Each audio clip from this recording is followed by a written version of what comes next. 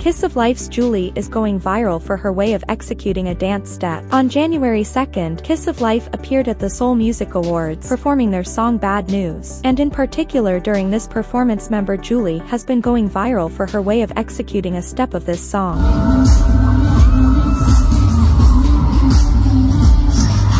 Several netizens were surprised by this moment as not many idols nowadays choose to perform sexy choreographies and although every member of Kiss of Life performs this same step in the song Julie has managed to receive praise for her particular way of doing it.